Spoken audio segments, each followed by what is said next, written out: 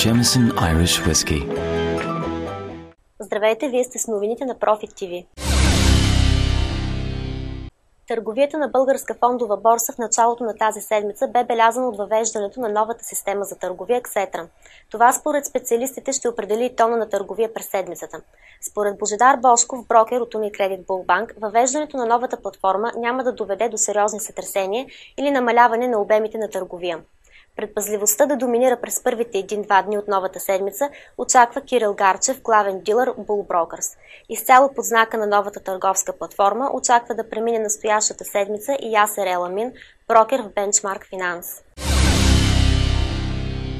Сривът на капиталовия ни пазар през тази година намали пазарната капитализация на българска фондова борса с близо 20%.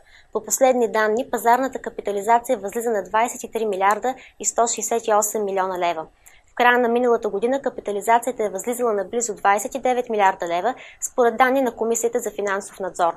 За сравнение, през изминалата година пазарната капитализация на борсата отбеляза повишение от 89,28%.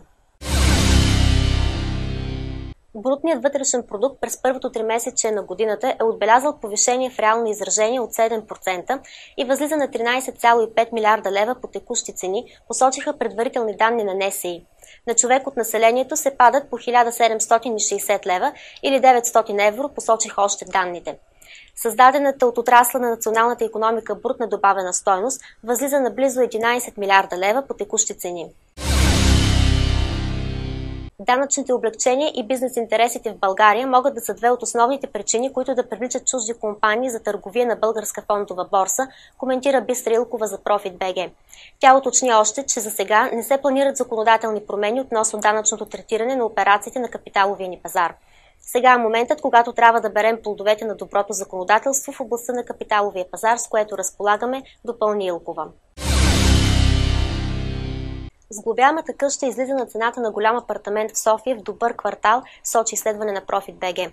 За купуване на парцел от покрайнините на града, заедно с цялостното проектиране и изграждане на къща от сглобяем тип, ще ви струва около 160 000 евро за 150 квадратни метра. Толкова и дори малко повече ще се наложи да дадете за голям апартамент със същата квадратура в някои от добрите квартали на София. За още финансови новини четете Profit